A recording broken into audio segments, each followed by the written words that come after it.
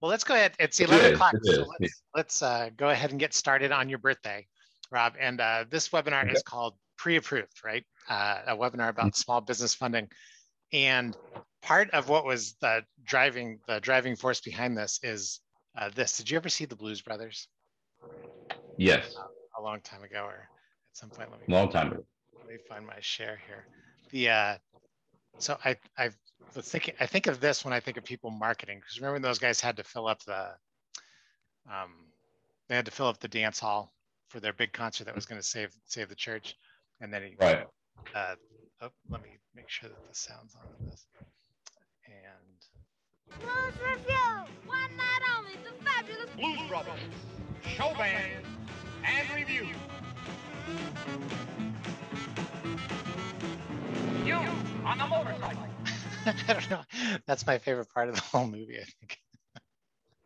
so um, when I see this, uh, all this advertising, I think to myself, you know, it's kind of like that, right? These guys, these random broadcasts, I get these ads all the time. Um, and they've got to be to old lists because I have not been necessarily running a business uh, for for years, but I still get uh, these emails. Mm-hmm. So it must work is the is the thought that's in the back of my head. So this is just the prelude into what we're going to get into today with Rob. Um, so meet uh, Rob Addison, and I hope I spelled your name right there, Rob. The um, why don't you tell us a little bit about uh, who you are? Okay, well, um, thanks for having me on. I've been in small business finance for about 22 years now. Started out uh, back in January 99 in equipment leasing. Um, did that as far as working for a few other companies for several years before branching out on my own and had uh, two different businesses over about uh, you know an eight to ten year period that um, did okay. And then when the recession hit, we pivoted, um, created our current entity, which is uh, Bank Loan Depot, to really kind of be more diverse because when the recession hit, it was it was really hard on equipment financing. So we branched out and have really never stopped um, to where now at this point, I handle everything from SBAs equipment financing, term loans, working capital, credit lines. Um, you know, we have some good partners we refer business to on the real estate side. So there's really kind of a little bit of everything that we do now. Very good. So this is why uh, you were interesting to me because uh, this, since we all have to deal with uh, financing questions, or at least a lot of us on this, the um, your experience. So you've you've seen it all and done it all. Whether or not you have, I'm going to say in 22 years you've bumped into a lot of stuff. So this is what I thought we'd cover today. So we'll just talk. The general topic is business financing. I'm going to have you review some solicitations that have come my way uh, just since we talked last time. Um, I expected a lot more, but there, uh, there were a few still. Um, and then we'll do what I call a common knowledge review, where it's basically me barking out to you the things that I think are pretty common knowledge, which may or may not even be true. They're just like things I've heard um, over the years. You can give us some insider's advice, and then there's an open Q&A for anybody who has a question. How's that sound? Okay. Sounds good. Sounds good. Okay and then you can give us some next steps. So this is the voicemail that got everything started. Um, it happened right before uh, I talked to you last time. Hey, it's Michael calling back. Uh, based on your business's Dun & Bradstreet score of 76, we do still have you pre-approved for up to a $500,000 line of credit starting at 4.9%. Now, the funds can be available in just 24 hours if you're interested. The offer does expire soon, so please call me back at 949 288-0745. Again, the number is 949-2. Have a wonderful day, and thank you. The uh, Have you ever heard things like that, Rob? Yeah, yeah. quite a bit. it's pretty common. It's, it's pretty a common. It's a lost leader. Yeah, it's what I refer to as kind of a lost leader situation. Like, uh, you know, when car dealerships have, you know, have a hundred Ford F-150s on the lot. They advertise one at below market value, um, and they get everybody in, and then they lead them over to the other uh, to the other trucks. It's just a typical loss leader. There's there's nothing, unfortunately, nothing unique about that. It's very common. So that wasn't just for me, Greg Chambers. no, if you call back, they wouldn't even know who you were till you told them. So right? Calling into some center. Um, I get these cold, cold emails, but I haven't I've actually received one that I've remembered not to delete because they usually go to spam. Um, but I have gotten quite a few of these sponsored emails. right? My uh, QuickBooks account. Um, do they? I, I don't know Mhm. where these coming from. Are they looking at my actual QuickBooks account, or is it just because I'm a subscriber? Because I also get them from PayPal, um, right? Which is like they just make it look so Well- like kind of like that voicemail. It's just so easy. Well, it depends on who that email is coming from. If it's coming via PayPal and via QuickBooks, then it, it's actually they've partnered with a uh, fintech company that has a, a solid idea about your cash flow. Uh, but when you get into the small print there, what you end up finding out is it's um, it's your typical short-term working capital or credit line that um, is basically just on your cash flow and only only modestly on your business or personal credit. But if it comes directly from PayPal and um, uh, from QuickBooks, then yeah, there there is actually some due diligence which has been done, which is you know not very common, as we'll discuss. okay, so they at least at least the computer has some idea as to what uh, may be going on inside my accounts. Yeah, absolutely, especially if you use those accounts on a regular basis. Okay. And then today I got this thing, um, which is uh, so it seems like there's been a lot of news around small business capital, um, small Mhm. business funding. And this one uh, popped up and it was a cash advance company. So it's these former Robinhood employees launched Parafin, a finance startup for small businesses. And Mhm. um, it seems to be one of these. The, the interesting quote that I took out of it was uh, small businesses are not necessarily happy with online lenders. Uh, providers of cash advances uh, dropped to 25% from 37%, and small businesses are most satisfied with credit unions out of all types of capital providers. So Mhm. um, I don't know what you uh, can add to that. I just thought it was interesting that it just happened to come across my desk this morning, um, of all things. Yeah, I mean it's it's always interesting when when um, you know people from somewhat related industries branch off into small business financing because you know make no bones about it they're attracted to the return on investment um, and really the lack of regulation. It- there's no you know there's a spirit of entrepreneurship but it is you know like anything else it, it's about making money and um, trying to frame what they're doing a little bit differently. But you know, don't get me wrong there are some companies out there that have done things a little bit differently uh, but it still kind of revolves you know, predominantly around the short-term working capital model, um, Yeah. which is usually what these guys have. They just package it a little bit different and add some, you know, bells and whistles to it. Right. Um, good stuff. Okay, so now I thought we'd get, uh, get into um, some of these things that I think uh, what I think everybody knows, and I don't know that this is everything that everybody knows, but um, I'll pop through these, and then you can react to them and tell me what you what you think when somebody like me who doesn't really know anything about uh, bank Okay. financing what they do. Should- So should I apologize? Should I apologize in advance? I don't know, but yeah. I think there's a couple in there that are a little that are uh, anti, uh, just anti, anti, like uh, banks don't take on debt. So this is uh, th- this is the uh, oh the Dave Ramsey school of uh, of running a small business is whatever you do, don't take on debt. Well, yeah, that's it's actually I had a very similar conversation with my brother-in-law re- recently, who owns a, a powder coating company down in San Antonio, and he asked me a, a very simple question. He goes, "Why would you ever, why would you ever buy a piece of equipment for forty thousand dollars, or why would you ever finance a piece of equipment for forty thousand dollars? Why don't you just wait, save up the money, and pay for it in cash?" And I said, "Well, if it takes you six months to um, to save up that money, that six month worth of return on investment that you're losing out, that business you're losing out on. Uh, plus, typically, if you finance it, you instead of getting a forty thousand dollar piece of powder equipment, maybe you can go to seventy five thousand and do three times the amount of business. So, on the business side, um, debt is typically um, something to be looked at. Is how are you going to parlay that into a return on investment? Because a two thousand dollar monthly lease payment that's generating you fifty thousand dollars in revenue is a solid investment. Okay, so that's a that's part of it. Is what are you going to use the money for, right? And I think that's um, yeah, it's it's yeah. People lose that. Yeah, if you're borrowing money on the business side, it's you know how is this helping you to make money? Is typically a question that I'll ask clients when I'm talking to them. If they can't answer it, then there's you know other conversations you have with them to try to find out what their situation is. Right. Uh, what about this one? Everybody knows how a loan works. Not anymore.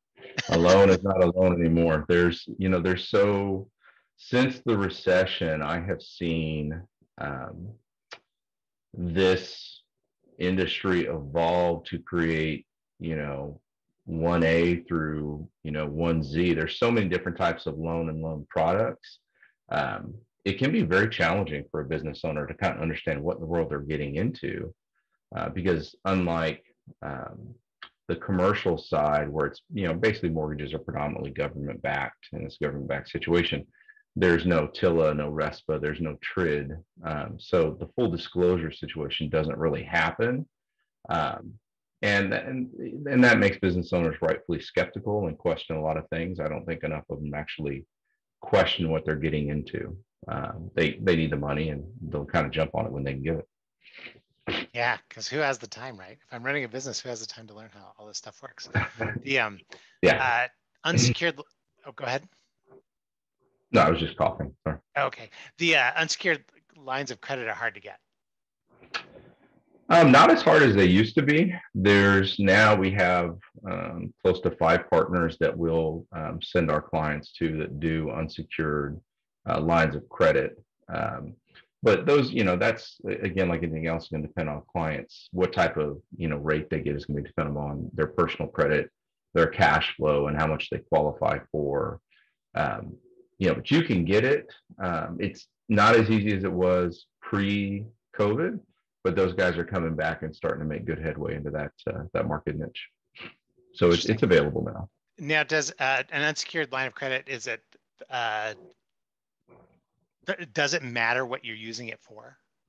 Like as far as Yeah. generating an ROI on it, or do, is it just like no, no, no? We're just only interested in your ability to repay, regardless of what you use the money for. Um, yeah, I think that's as far as what they qualify for. Um, yeah, the, the- most of the lenders don't particularly um, get into what they're using the, the money for. There's an assumption and certain declarations within the contract. It's only for for business use. And I always joke with clients, uh, you know, hey, if you're using this money to go to Vegas for the weekend, hey, don't forget to bring me. But yeah, and they all laugh, but you know, they're all they're all using it for business purposes. Sometimes it's just cash flow until they get um, until they get paid. Sometimes it's to fund um, projects, whatever. But um, you know, I've only had one instance in the last ten years, maybe two, one I can think of off the top of my head, where a client came back for some additional funding and was declined because they used the funds for something they weren't supposed to use it for.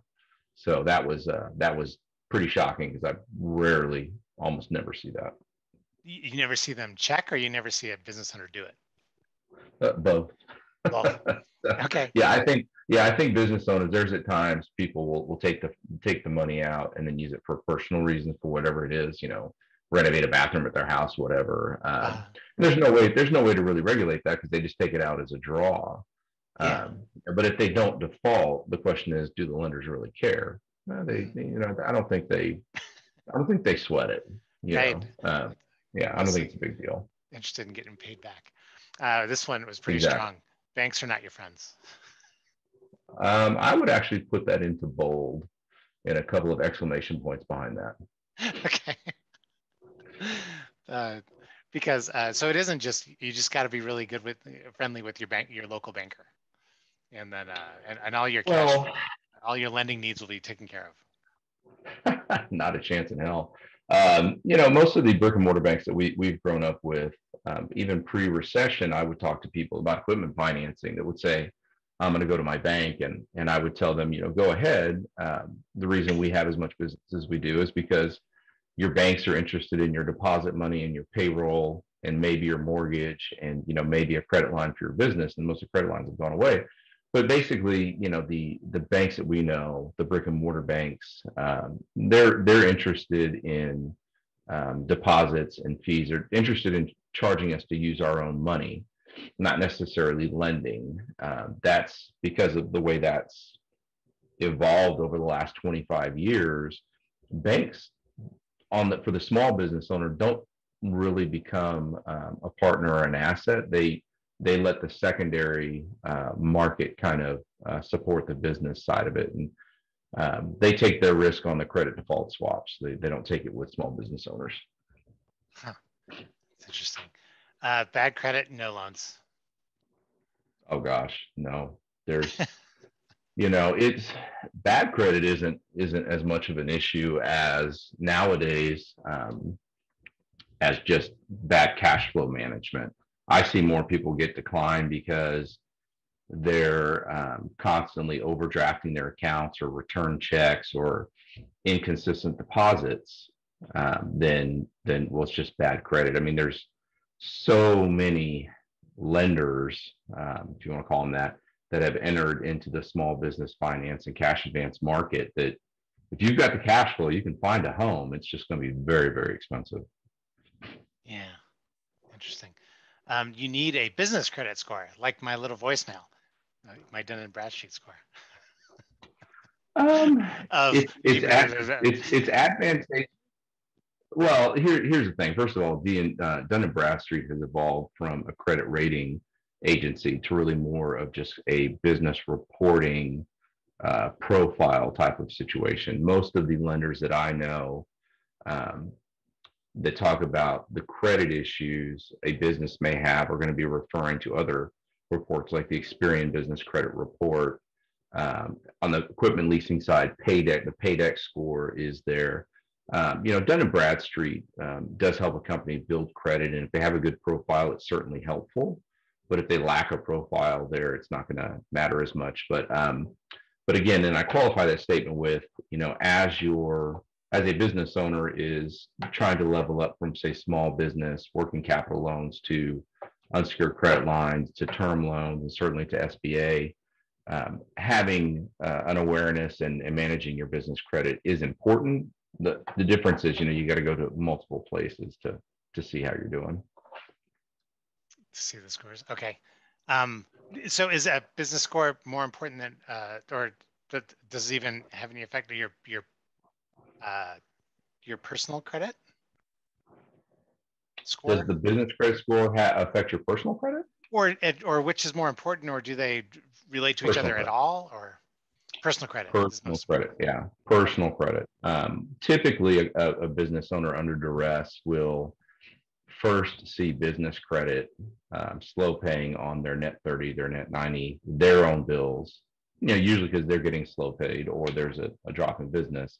When it hits a business owner's personal credit and um, you know they're they're willing to be late on a mortgage payment or a car payment or something, that's a significant sign of uh, of a credit risk you know, and that'll always coincide with shorter terms and higher rates because people are trying not to fund them for very long. They want to get in and out pretty quick. Yeah. Okay. Uh, paying off early is good. Oh, it's great, but you got to understand the uh, language in the contract to see what the what the early payoff is. Um, because, uh, well, I mean, some of- like some of our better partners on the term loan side, you know, there there is no prepayment penalty, the same as a traditional business loan or, or home mortgage. Um, and some of our credit line companies, you know, are the same way. Uh, but most of the short-term working capital companies will, you know, the better ones, kind of the first and second position people, will have um, incentives to have clients pay off early. I'm going to give them a discount. Um, the reality is, it's, you know, it it's such a shorter term that that clients tend to want to hold on to their cash, and and they typically let it just run to the end. Very few people actually uh, pay it off early. Yeah. Interesting. Okay. So you need an accountant for reports.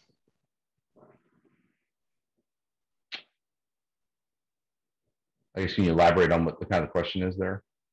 Well, this is just like everybody knows that if you're going to do a bank or to get any sort of credit, you need really good reports. And then that means you need to hire your accountant to do reports for you.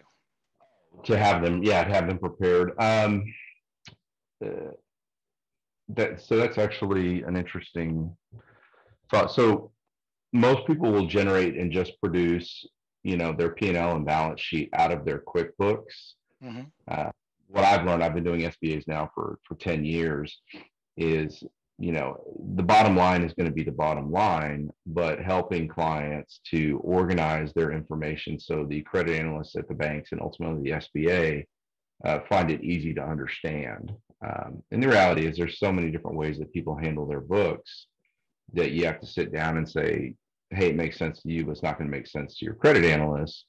You know, here's kind of the way. Seriously, here's kind of the way that you need to organize it. I mean, you can't change what your bottom line is, but you can present it in a um, articulate manner that's you know easy to understand, um, and that's kind of where um, yeah, I've been fortunate for the last going on nine years now. I've had the same um, SBA processor that can sit down with clients and say, "Oh, honey, no, this is this is like reading a foreign language. Here's kind of how the best way to present it." And and that's kind of one of the services that we provide um, because the majority of small business owners uh, can be pretty scared of doing anything with their financial statements because other than entering something in QuickBooks, they have no idea what happens until they turn it over to their accountant at the end of the year Yes. and the accountant fixes it once a year. You know, Right. and so and they just do journal entries, and it's just it's just yeah, it's like another language at times. So um, getting your getting your um, accounting reports um, organized is important if you want better financing for sure. Okay. The bank is a tough is, is a tough one, but it's the best. Everybody knows Um, yeah, I mean, the reality is that that's actually a true statement. If if your bank is willing to um, to finance you, um, there is kind of an asterisk to that. If they're willing to finance you, whether a credit line or equipment financing or working capital or whatever, typically it's gonna be the best rates because they're the ones that can get the closest, um, you know, besides maybe the SBA to uh, mortgage type rates, you know, four, five, six, seven percent. Um, but one of the caveats to that is that they often will attach a, a lien to, um, you know, personal and business assets. So Johnny business owner gets a great line of credit and, you know, six months later he goes to refinance his house and, and, and there's a lien on his house.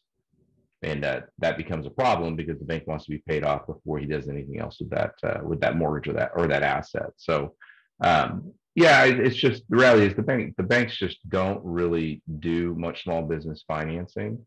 Um, I always encourage clients that that say something of that nature to go ahead and try their bank, and the majority of them them will call us back and and say, okay, so what are my options? And and that's when we can get into it, get into our stuff. I mean, the, the the banks are just, you know, like I said, they're holding companies to charge us to use our money now. Yeah. Interesting. More. I have more. Uh, it takes weeks or months for funding. Uh, for good funding, yes. For good funding, yes. Yeah. So um, our, So, our very so, so anybody promising less, there's uh, this should ring a uh, it should make the hair on our neck stand up a little.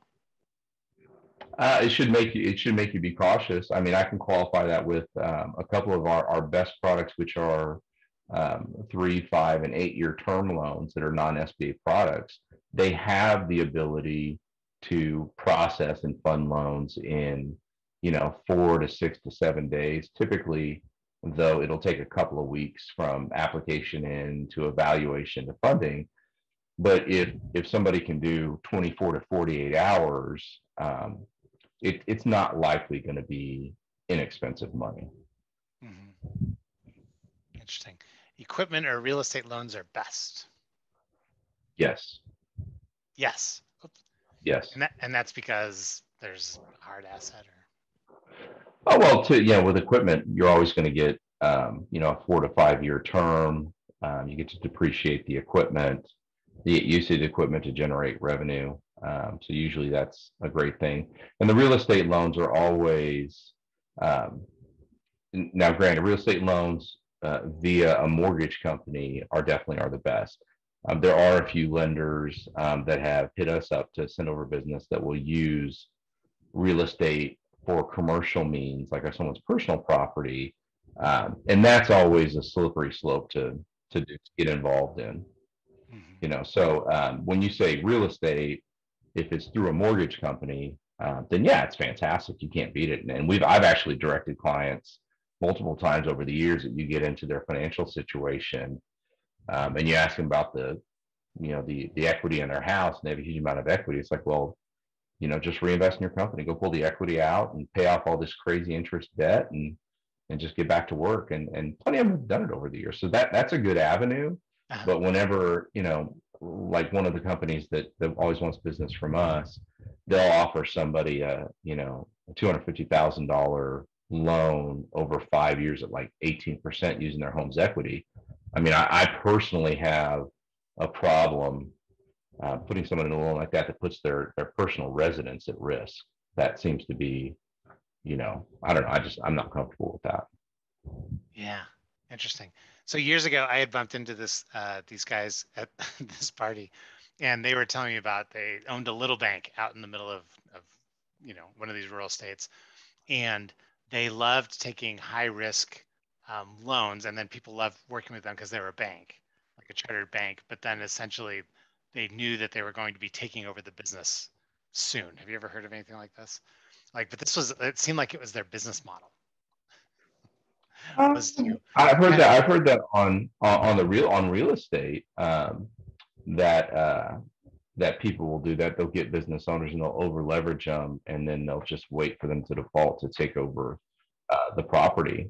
yeah. Um, so that's that's I've heard that for as far as taking over the business. That's I haven't heard that particular niche. I mean, what does what do I know about running a, a bakery, you know, or or anything else? I mean, there's you, you know a business is in distress, and the business owner is is typically the um, the catalyst for any success that the business has. You take them out of the equation, what do you got? You know, so yeah, I, I I've never come across that, but that's uh, would have been a fascinating conversation to to hear. That's Yeah, for I bet you would have gotten further in it than I did. I was like, you guys are sharks. Uh, merchant cash advances are expensive. So it's just kind of like what that uh, that new company Uh, was. They're kind of like a cash advance. Yeah, it's you know it's um, competition is driving down the overall cost um, of the merchant cash advances. Um, and there there are some that are like some of the best people I know in finance are actually um, owners of uh, some working capital companies, merchant cash advances. Um, I've known some of these guys going back almost 18 years. Um, it- so the it's expensive based on the perspective of return on investment. And the you know the example I always give people when they're talking about taking one of these is, you know, if you're Johnny construction owner that needs fifty thousand dollars to fund a three hundred fifty thousand dollar project, well, paying fourteen fifteen thousand dollars in interest in six months is just the cost of doing business. But if you're Betty the baker who needs twenty grand to make ends meet at the end of the month, it's like, well, you're going to have another another bill you're adding um, to your debt load, so that that doesn't make sense. So again, what's the use of funds? Um, there are plenty of those uh, companies out there that have, uh, like our primary partners, have really quality prepaid discounts. So if somebody needs to turn the money over and get out of it, um, they can really cut down their costs. Uh, but like any like any loan, the same as a mortgage, you know, it's super expensive let it go to term. I mean, you know, it, it's always kind of the, the debate you have, like a merchant cash advance. If somebody borrows a hundred thousand dollars and in, you know, ten months they pay back one hundred thirty-five thousand, you're like, wow, that's, you know, thirty-five thousand dollars in interest, right, for that loan. Right. Well, there's different tax, there's different tax write-offs and so forth. But you compare it to a mortgage where somebody borrows, you know, hundred thousand dollars over thirty years, they're going to pay back, you know, even at like four percent, they're going to pay it back one hundred eighty-five thousand, right? Um, the merchant cash advances, some of the the advantages are, um, and, and let me qualify this: like these are, you know, my least favorite product, but they're uh, they're valuable to the business owners as a resource for capital. But um, you know, in, in the first couple of years of a mortgage, you're almost paying down no principal; it's all interest. That's why the big banks are all into it. Versus on the you know on the on the business loan and working capital side, you are if you're in the right version of a merchant cash advance, you are, you know, banging down your principal pretty quickly, you know, and relatively evenly because it's such a short term. Um, but again, it depends on which one you get into. Good stuff. As, uh, are, are these pretty common as far as th- am I doing all right with these?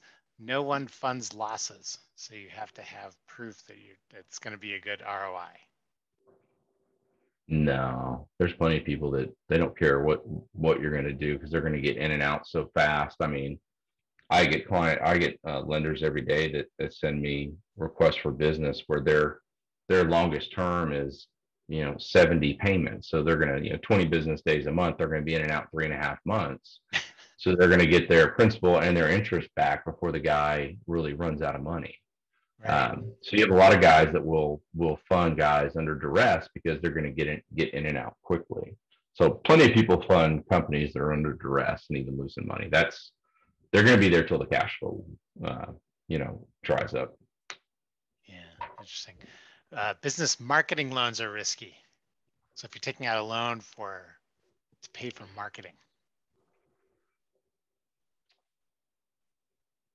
I don't think it, if you have a a known commodity on marketing and you can spend ten thousand dollars and it's going to generate, you know, X amount of business, then yeah, it absolutely makes sense. Mhm. If you're if you're marketing or if you're taking out loans to try different things that are unproven, sure, that's risky. I mean, we've all spent money on marketing that did not work. I mean, that's that's a given. right? What about this one? Credit unions are best. Oh, I love my credit union. I have the same bank account with uh, my credit union that I my dad opened for me when I was 15 years old. So Oh, no kidding. yeah, yeah, yeah. Um, my account actually starts with a one, and when I told a family member about that, she started laughing because uh, she was, you know, how old that account is, and and then I actually found out, yeah, it's you know, 35 years old now or 34 years old now. So same account. Yeah, I've had it all this time. But yeah, credit unions are the best because it's essentially it's it's the members for the members. But um, not a lot of credit unions do business financing. You know, Oh. it's they they say yeah, a lot of them a lot of them don't. Um, I think some have started, and it'll be interesting if it if they if they do in mass. Number one, how that influences the market, but two, when the next hit to the economy comes, you know, and they take a loss, what do their members think of it all? So yeah, Yeah. it'd be interesting. Interesting stuff. Good stuff. So well done. You made it uh, through my uh, through that piece. Now I'm going to throw you to the lions for real. Okay. what, what off the top of your head, what is are three tips you would give to an old friend who was looking for, um, considering um, any sort of financing, or even wondering like, should I be looking for financing for my business? Um, you know, I think it's okay to respond to the loss leader marketing um, as long as you don't get into a product um, where the the salesperson at the end of the phone is is asking you to sign this this contract that's a short-term working capital deal and promises and guarantees you in 30 or 60 days you're going to convert um, this into some insanely good loan offer like you know 10 years at 7% um, you know, and, and it is and it is even willing to vaguely put something in writing. Uh, you know, I would tell you, I've I've done um, working capital loans, help people repair their credit, and got them into SBA's time and time again. But I've also heard a lot of horror stories where people sign these short-term working capital deals with the expectation, hey, I can manage this for 30 or 60 days, but I got to be out of it by then. And then they find out that quote unquote that program no longer exists. Um, and then they find the same salesperson them offering them another deal to go on top of the one they have. So um, I guess so that's not even like wary. a loss leader. That that's almost like a bait and switch, right? Oh yeah, it is. Yeah. It really is, and um, it's pretty common um, that uh, um, that's that seems to be a sales pitch that has uh, perpetuated the industry for. Um, it, it's really become pretty common in the last three or four years. So it's it's tough. I've had a uh, heard a lot of uh, stories from from clients that fell into that, and you know it, it can be very hard on a business. So be very wary about uh, about any any anything that is promised because if you know if somebody can offer you that that better loan they have to offer you the exact path and disclose to you how you're going to get there well also the question of well if you have that why am i not getting it now and uh, one of the one of the well seriously one of the big things is they go we need to have a good payment history with you no you have that with my business credit my personal credit you know why do i need to pay this this loan product um, to prove to you that I can I can pay something that's ten times more expensive. That is just doesn't make sense, you know. But business owners, um, you know, they want what's best for their business, and and they they're willing to take a chance. And sometimes it you know it, it blows up in their face. Yeah. Okay. So that's one tip. What's another one? Um, you know, I would say, you know, take the time to to ask for things in writing. Okay. You know, specifically, um, you know, what's my what's my total cost if this goes to term? What exactly are my discounts if I pay this thing off early? And um, you know, do you have any references? You know, you're talking about this great program. Well, let me talk to a couple of business owners. Now, one thing you do if you that that I, I had a client that talked about he got some references and we dug into it and he found out that it was actually just some other salespeople on the sales floor. so if somebody's, you know, if somebody's offering you up a reference, why don't you make sure that they're actually a business owner and not his buddy sitting in the cubicle next to him? Um, so I guess it's kind of kind of two in one. And then you know the other thing is to uh, to understand that if you you know on the business side, if you're asking for better terms, if you're asking for better you know longer repayment periods and better rates, you know, you have to have a good profile, right? Because my most common my most common conversation is, hey, you know, I, I want a long term financing. I don't want a daily or weekly payment and I say, great, we've got, you know, 10 different programs that do that. Let's talk about your profile. And, you know, then you find out the person has, you know, a sub 630 credit score. You know, they've got a, you know, a tax lien that's not on a payment plan and they defaulted on a working capital loan, you know, 18 months ago. It's like, well, that, you know, you're just taking yourself out of the running because there's, you know, there's a line around the corner for people that want to get into those products. So the standards are higher you know, um, depending on the lender and the industry and so forth, you know, it can be anywhere from a minimum of a 630 to a minimum of a 720. You know, and it just kind of depends. You know, um, uh, again, there's a lot of industry stuff. You get kind of granular, but you know, but even those guys that they'll allow a 630 credit score, 635 to offer a five or six year term loan, it's going to be a certain type of business uh, with licenses. It's going to be solid cash flow. It's going to have a lot of um, pros to it. It's not going to be somebody who's just made a mess of things financially. And, you know, and, and, and I understand, I, I talk to clients every day that have been saturated, hammered with a hundred emails in the last week promising them the moon. Yeah. And they're, they're kind of tired of, you know, the conversation of what am I actually going to get? It's like, well, for your credit profile, you may not qualify for the better programs. So you know that that's just kind of was I understand that you know if if your credit profile has taken a lot of hits that you have to put the work in through credit repair managing your credit uh, managing your cash flow to get into a better situation to be financeable on a term loan in the secondary market which is kind of what i consider us yeah okay that's good stuff um, these were other questions that i threw out um, in the uh, on this piece what are some key questions to ask lenders? I think you've been going through that, right? So I'm kind of running mm-hmm. through this just to make sure I covered everything. Um, but uh, getting things in writing, the total payoff, there's uh, you, you, gave a lot of advice there. Uh, red flags that lenders hate to hear. You kind of you covered a few of those. Mm-hmm. But are there any other ones that jump out that are just when you when you hear it, you think, oh no?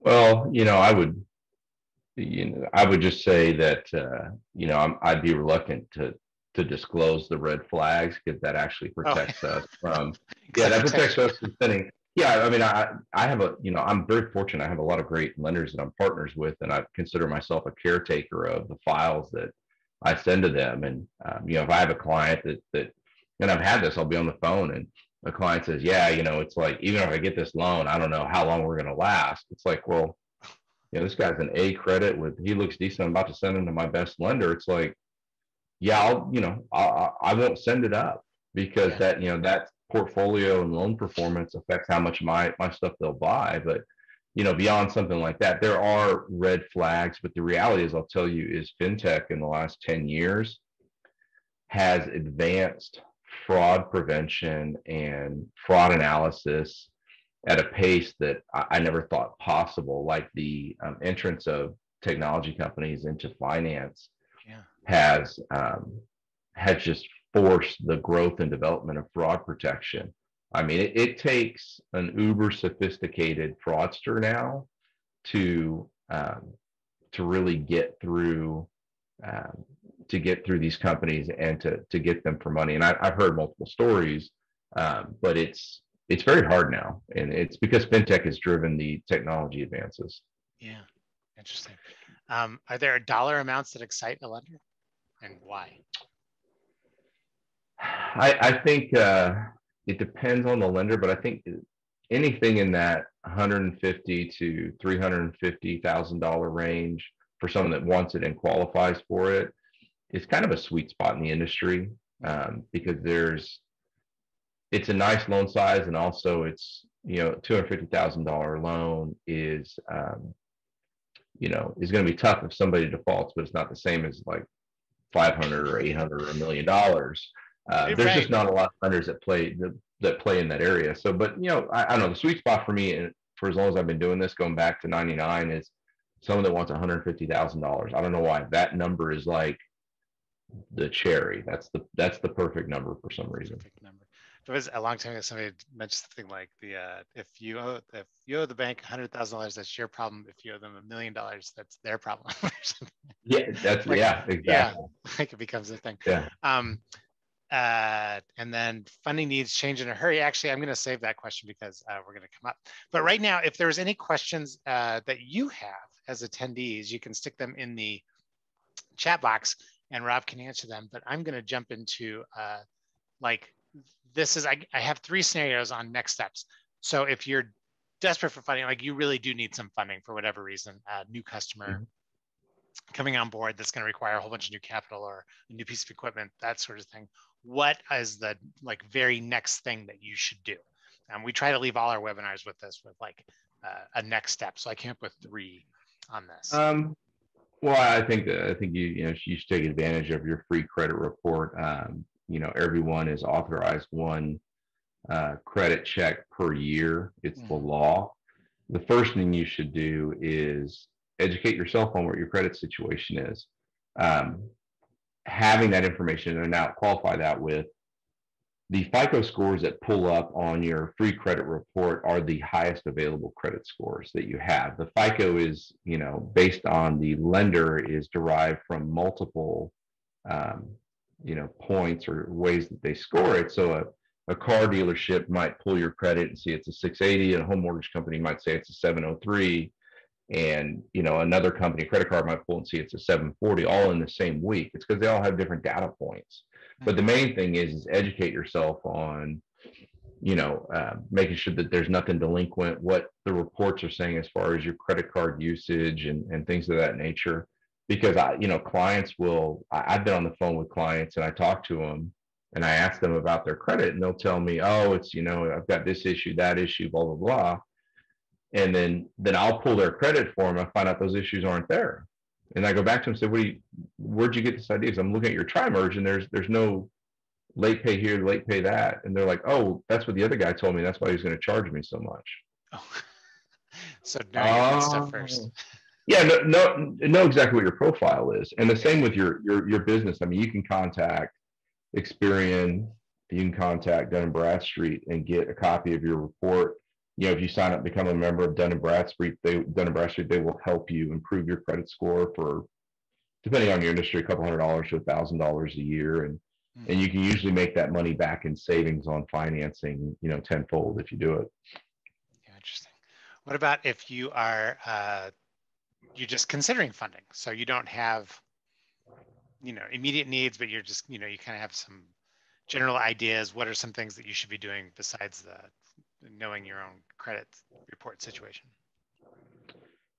Um, I, I think monitoring, uh, monitoring your daily balances in your business checking account, because the way most of the scoring system works um, outside of SBA is they all look at uh, how many days you're running negative, even if it's not a cash advance, it's a credit line company or a term loan, they're going to look at uh, any the number of negative days or overdrafts per month, because that just tells them how close the the margin is, you know, profit and your expenses are. If, if you're constantly running negative, you know, there's an issue there. You know, sometimes it's just a matter of, of getting financing to to stop tapping your cash flow. But that's kind of a big thing, managing your credit and then uh, looking at your business checking account, checking your business credit. um, because you know now it's a prevention can can save you just a lot of financing pain when it comes time to pull the trigger. Yeah. So if you were uh, taking a look at things and you're like, okay, I want to make myself look best, um, how long do I need to uh, be on my best behavior? How long do I need to be on the diet uh, to make it look normal, or is there just it just doesn't matter? Uh, no, it's um, you know on the business credit side, the great news is unlike personal credit, you can you can get hardcore into Experian and Dun and Bradstreet, and they'll update it uh, quickly. Like a lot of vendors, a lot of clients don't know this, but their vendors will only report if you're delinquent on a you know um, an agreement. Like you have net 30 terms and you're consistently 75 days late. Well, you know Betty in the accounting office is going to report that to D&B as a slow pay client because it's going to cause you pain and you're going to pay them.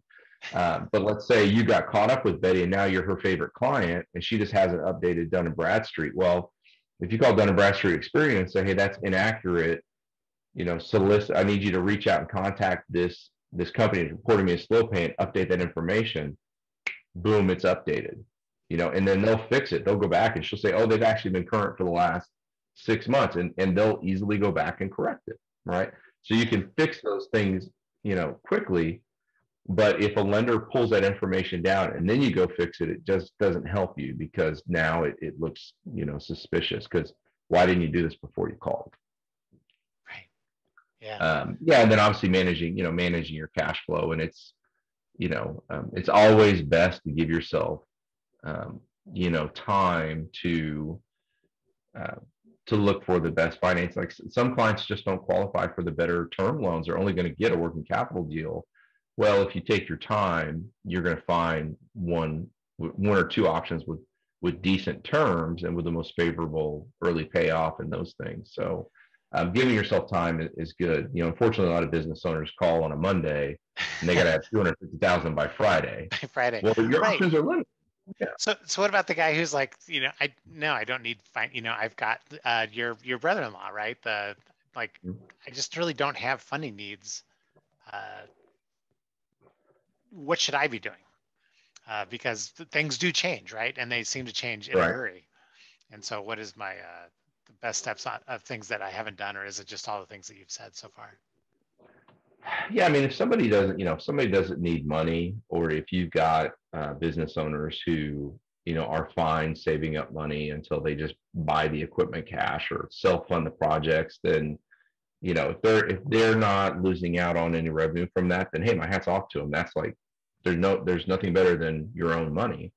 Um, you know, but it, it, it it's difficult because business owners, um, you know, they it's hard for them to plan six or 12 months um, ahead of time because they get surprised with opportunities. Um, you know, to get big contracts, they got to run out and get the financing for it. And they're also surprised, you know, because two of their best clients leave and go somewhere else and suddenly the revenue drops, right? So it's Yeah. On the financing side, it, it's often more, you know, really of, a- of a reaction thing.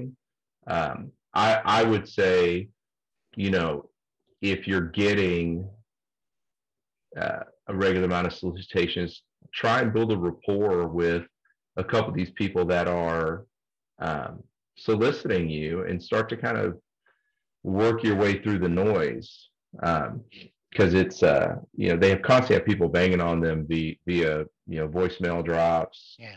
texting, emails, um, and reach out and try and establish a rapport and get disclosures from these people about what they really offer and, and you know, and what it is um, so that when it is time for you to finance, you're going to have three or four guys that you can reach out to that you can say, hey, okay, well, I'm going to talk to these people. Let me know what your best offer is. And you can get those disclosures and so forth. Um, you know, the problem is, is you know, business owners um, they get under duress and they got to pull the trigger quickly, and they, and it's very much I'm going to take this. It you know, it's not a great option, but I'll deal with it in three or four months when it's a problem. Right now, I got to get to the end of the week.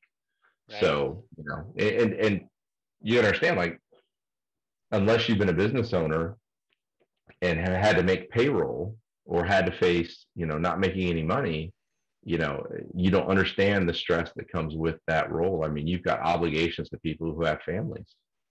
You got your own family to take care of. So, Um, there's a lot of pressure there. A lot of times business owners just have to do what they have to do and they'll figure it out later. Um, but that's a tough spot to get into. So if, you know, if you're getting solicitations, um, you know, just, just remember the, old- the old thing is, is if it's too good to be true, it really is not true. Perfect. Good stuff. So, uh, Rob, this is your business. Do I have this right? Bankloandepot.com. Yes, you do. Very good. So that the contact information there, and then if you ever, I don't know, that a marketing plan or if you need input, but since we're hosting this, I thought I'd throw leadgencompass.com in there too. But for the most part, this is uh, we're done. And so Cool. thank you. Uh, that was very informative uh, for me. And then I think uh, we'll have the recording, so we'll uh, get the recording out to everybody uh, that registered for it, and um, and then we'll uh, do some other things with this, like I told you previously. Well, I appreciate it. Okay. Thanks. Uh, thanks for letting me talk. I appreciate your time. you bet. Thanks, Rob. And right, thanks, uh.